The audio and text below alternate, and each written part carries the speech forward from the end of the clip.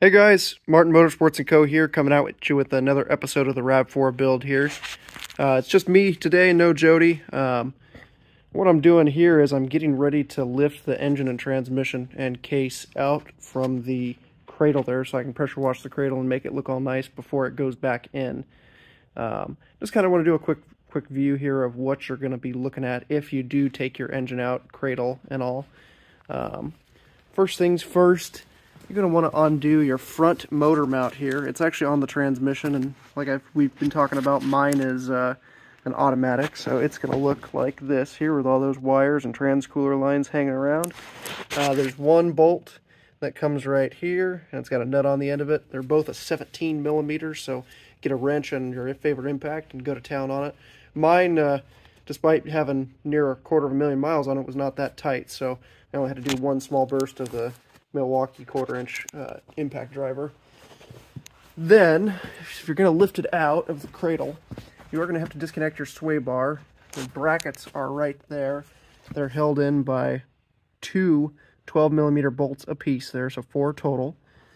Um, and then you are going to have to take your steering rack out. So that's what I'm working on right now is undoing the tie rod ends there, and then I'm going to lift the rack out and I think I'm going to try and lift it with all the lines and everything still attached so I don't, hopefully don't lose a, uh, a drop of power steering fluid. Not that it really matters, I'm going to be changing it anyway, but I just don't like a mess. So we'll, uh, we'll see how this goes. If I can shut the video off. This is just the fun things of working with a phone and having gloves on. okay, so we've got our steering rack and everything pushed to the side for right now. So if you look down here, this is where the, it mounts. There is going to be a little clip here that goes on. Oh, there we go. Like such. So you want to save that because that's like an encapsulated nut there. Um, you are going to have two long, same thing, 17 millimeter bolts, just like your tie rod ends, that go into that, so save those. Now we can gain access to our rear mount there, which should be the only thing holding this thing in. You know, knock on wood, of course. I haven't gone through this yet, but we'll see. So stay tuned. Let's see what we have, what happens. Okay, so we got the sway bar unmounted, like I said, and we got this guy disconnected. One little helpful hip hint there. If you look at the uh, the um, steering rack mount right here, you'll notice there's no hole in it. But if you go to the other side, there's a nice little hole right there. And if you get a, you know, nice extension here, you can actually take your extension and get it right in there. And that makes it super easy to take that uh, bolt out there.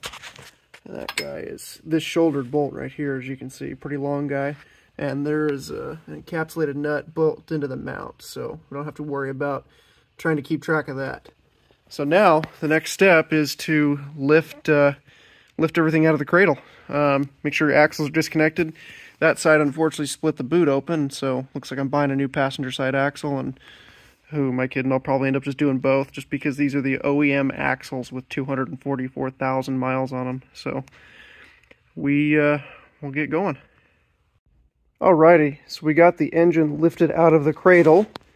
So as you can see, there's your two forward and backward mounts there. Uh, I'm still leaving mine all, my struts and everything all hooked up, uh, just so I can get everything clean before I start really disassembling there. But, uh, like I said, this is your one back here. Both of these are actually pretty similar in style. They're both going to have a just a single bolt, and then the mount on the engine side, or I guess on this in this case the transmission side, will have an encapsulated nut that will uh, hold everything in place there. But I used a cherry picker to to get everything pulled out there and a couple jack stands to set everything up. So that part is ready to be cleaned up and painted uh, before the 3S GTE goes in. I'm going to pan over to the engine here next and show you a little bit uh, a little bit more things on that.